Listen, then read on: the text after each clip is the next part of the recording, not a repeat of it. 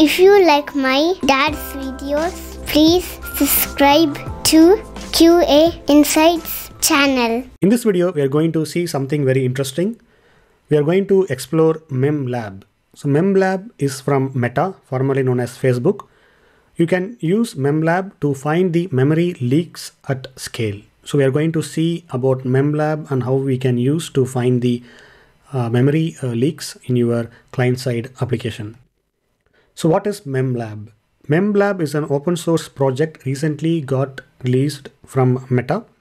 Basically, it is a memory testing framework for JavaScript at scale. It uses uh, a Puppeteer API under the hood, which we are going to see it in a moment. And using the MemLab, you can analyze your JavaScript heap snapshots. So basically, if you have something like a single page application and if you want to find some memory leaks, definitely you can use the uh, browser developer tools. But it is kind of a manual task and it needs some kind of expertise. And at scale, you cannot follow the same practice. But using the MemLab, you can analyze your JavaScript heap snapshots uh, pretty easily. And then you can integrate with your CI/CD pipeline. So basically, this uh, MemLab will help you to aggregate your results. Uh, you can also debug the memory uh, objects. Basically, it has a kind of an API where you can easily traverse the objects so that uh, you can find uh, what is causing the memory leak in your application. And also it comes with uh, a powerful CLI tool where you can uh, send some command and then it will automatically uh, do the stuffs for you. And also you can integrate the MemLab API in your code using the uh, memory assertions in Node.js. To get started with MemLab, all you need is a node. Just install uh, node and using the npm command install-g memlab, you can easily install it in your local system. After that, you can just uh, trigger the memlab uh, space version. You can see the uh, detailed versions of each component. Okay, now let us see how memlab works. By understanding how it works, it will be very easy to understand your uh, heap snapshots and also about memlab so that you can uh, do things pretty fast. There are actually six steps involved in uh, memlab but there are only three steps outlined in the uh, official documentation but there are actually six. So we are going to see uh, each step one by one. The first step is browser interaction. So in this step what you do is you write some simple script and you execute. So during the execution what it will do is it will uh, first go to the baseline page the home page memlab uh, take a snapshot the memory snapshot then uh, the application will go to the uh, navigates to the next page. Basically, whatever you want to click, it, it just clicks and then it will go to the page. Then it will uh, take another snapshot. So MemLab will take the second snapshot here. Then it will go to the the previous page, basically the home page, the baseline page. Then it will take another snapshot. So there are three snapshots will be captured by MemLab.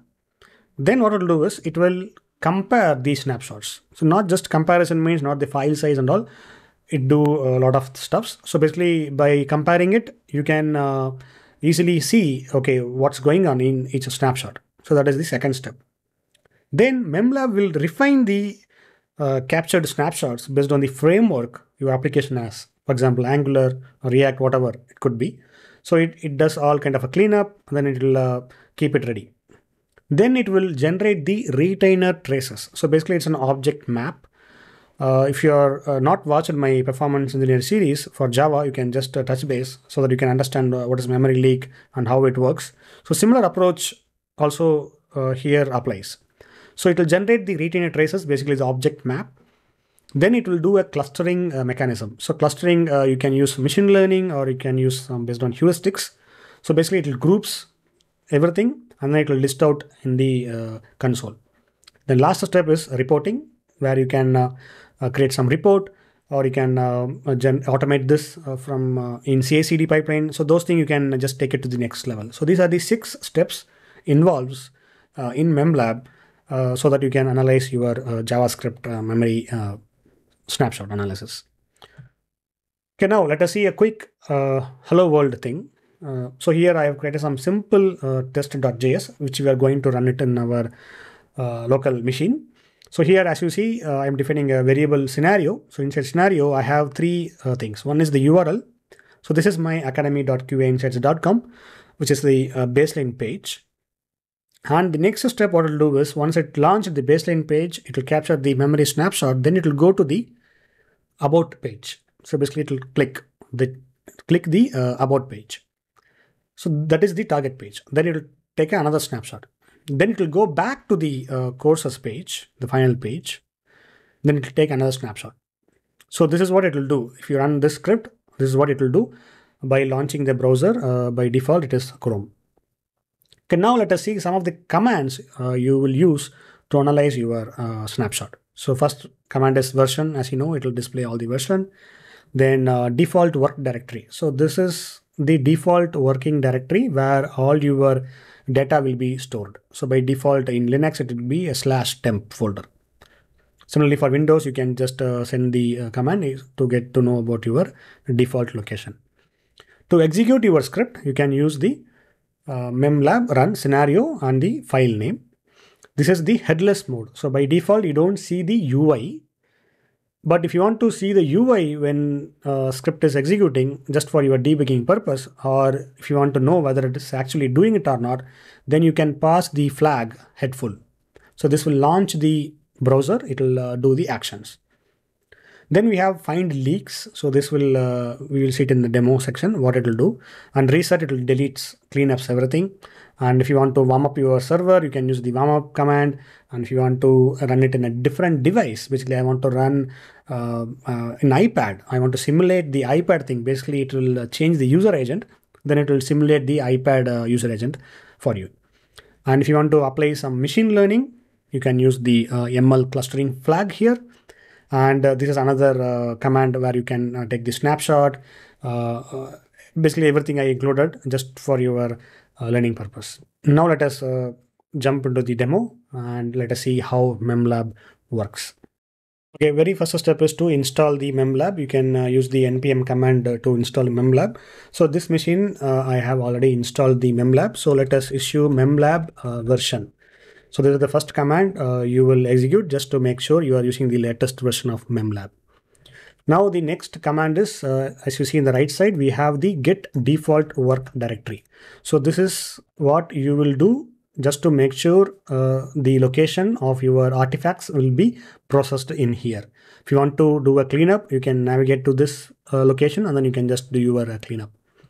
So now before we execute the uh, hello.js, uh, let me just uh, print the content of hello.js. So quickly, let us go through the JavaScript file here. So as I mentioned, we have a scenario and we have the URL. This is our baseline page, line number two. And line number three, we have an action keyword. So this is what uh, it will do the actual action on your page. This is a reserved keyword. Uh, you cannot change it. So this is what you have to configure when you write your uh, JavaScript file. And here we are just clicking the uh, hyperlink, uh, which has the uh, slash about. So basically it will go to the about page. And then again, the last step is to going back to the previous page by navigating to slash courses URL. So this is very simple uh, hello.js, but of course you can uh, do a lot of things. For example, logging, and you can read some tokens, and some session. So you can do a lot of things, but that is beyond the scope of this video.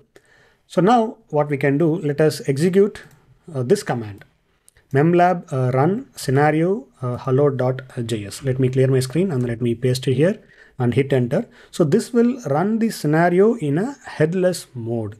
So as you see here, uh, page load baseline S1, uh, action on page S2 and revert S3. So this is uh, some of the naming conventions you can follow along with it. And uh, it will start it will contact the web server and then it will uh, do the action it will take the snapshots. So you can see the progress here. But sometimes what will happen it may fail. Whenever you write some script say interaction fail or something it will just terminate as is.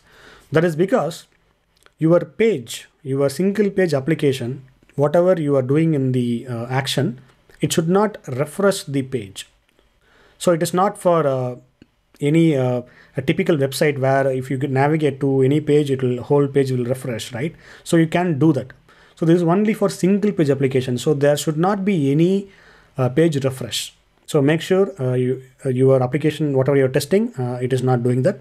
So now as you see here, it is displaying the total time. So it took around a minute uh, to execute all these steps and it is displaying some uh, uh, beautiful graph which is memory usage across all the steps and it has found three leaks and uh, these are the clusters.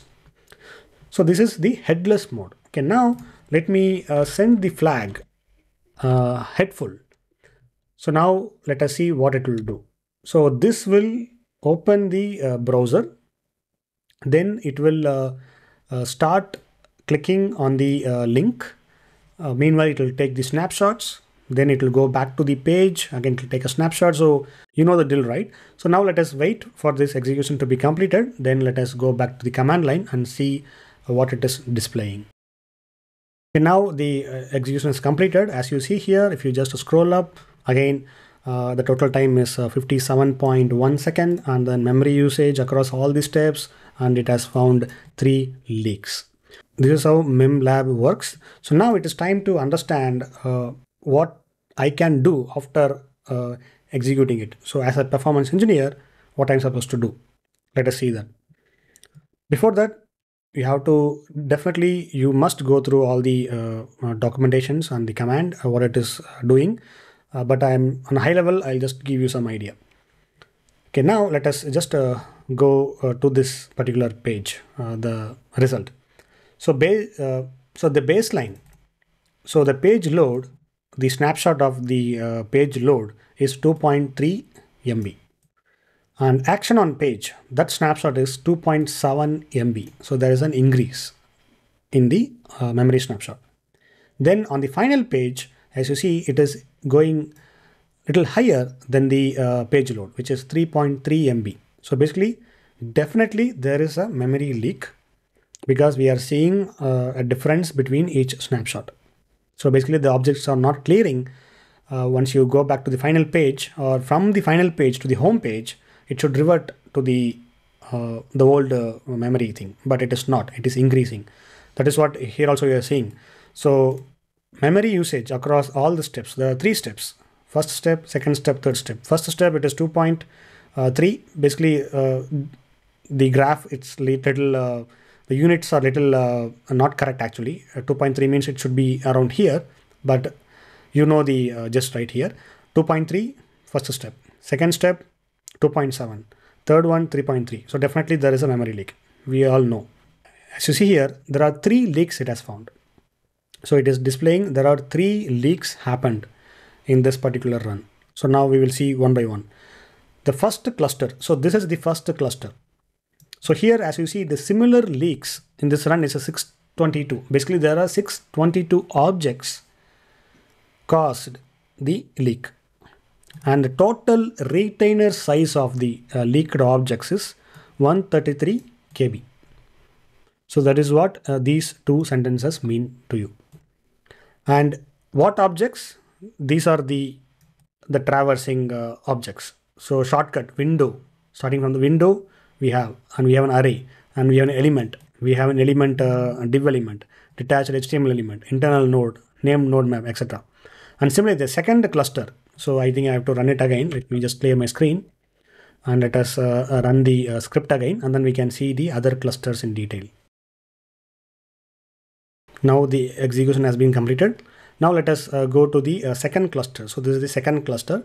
So in the second cluster, there are around 292 objects. The total uh, retainer size of the object is 58 KB.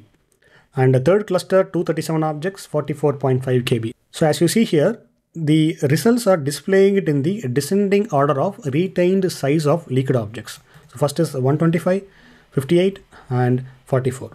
So now if you see the second cluster as you see here it is going to the window. This is the window and uh, these are the objects and so on and so on. And if you just uh, go to the each object as you see and uh, this is the page about page.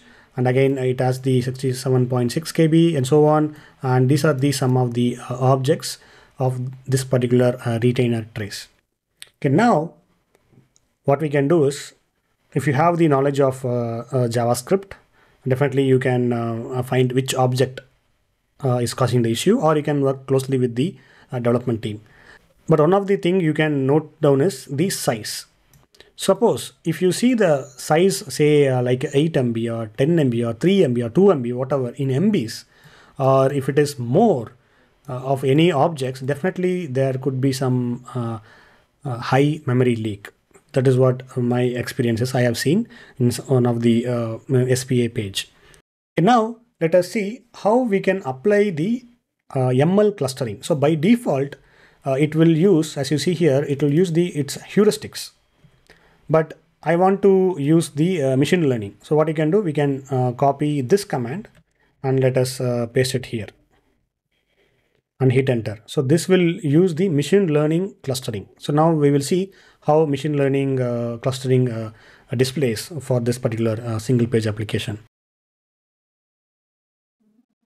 Okay, now the uh, execution is completed. As you see here, again, machine learning also, it is displaying uh, three leaks and there are three clusters. It's very simple application, so I don't see uh, much uh, difference between the heuristics or machine learning. But in terms of like a Facebook or WhatsApp or uh, whatever very famous single page application out there, definitely uh, it will be very helpful. if you change the algorithm, you can see some difference between the analysis. Okay, now Next, what we can do is uh, let us uh, go to the temp folder. So TMP uh, memlab. And if you see here, uh, let me just display uh, this tree view one. So there are three folders, Chrome, data, input. So now let us uh, go to the data folder. So here, as you see, profile, persist, out, logger, data builder and cur. So if you go to the uh, cur folder, as you see here, uh, snapshots.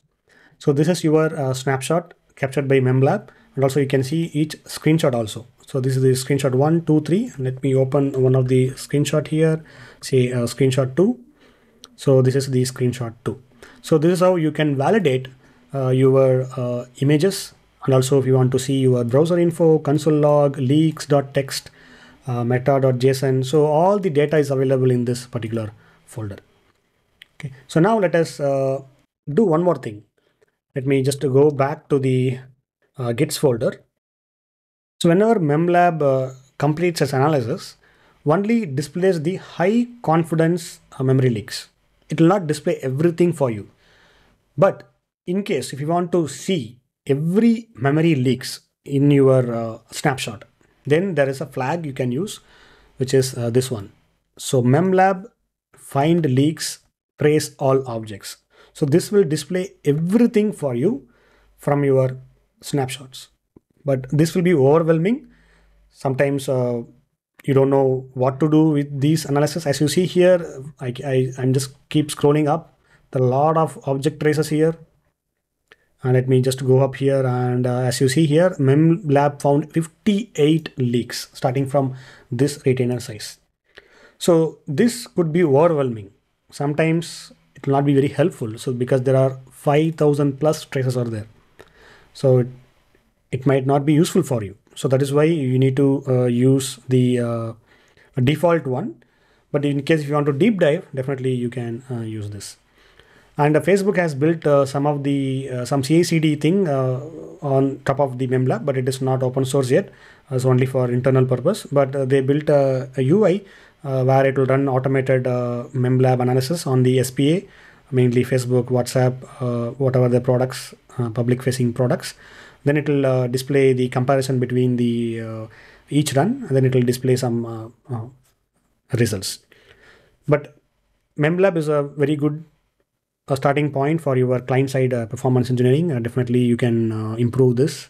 Uh, definitely you can uh, find some regression defects uh, for your single page applications. So this is available, this script and the commands are available in the GitHub repository. So please check it out. I will leave the link in the description. thank you for watching. Happy testing. If you like my dad's videos, please subscribe to QA Insights channel.